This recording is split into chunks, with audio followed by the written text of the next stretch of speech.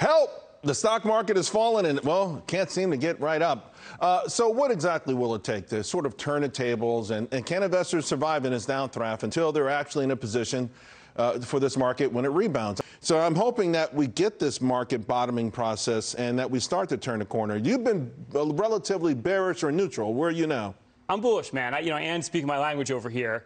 And I think we have to look at right now is look, a lot of the damage is done. I mean, the S&P at 16 times forward earnings, that's hasn't been that cheap in a very, very long time.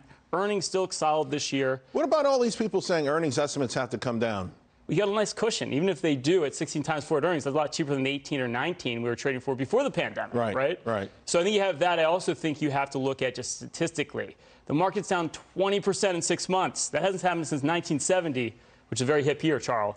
But I wasn't alive then. But my point is this: like, you know, any time that you've been down that much for the first six months of the year, right. markets average 23% for the next six months. So odds are you're going to get a big, big reversal here. And to your point, uh, you know, the economic data is not going to tell you ahead of time. Market's going to move first. So, Ryan, so what are you looking at? Because before you were more, a little bit more conservative. Have you gotten a little, you know, like I know you were on the value side for a while. Yeah, which has helped, right? Because right. value is on way less than growth this Absolutely. year. I mean, look, the animal spirits are out. You heard it here first. And I think if you look at like small cap stocks, which are more attuned or economically sensitive, uh, right now, if you look at earnings out the next 12 months, you're talking about 20% increase in earnings, Charles. That's insane.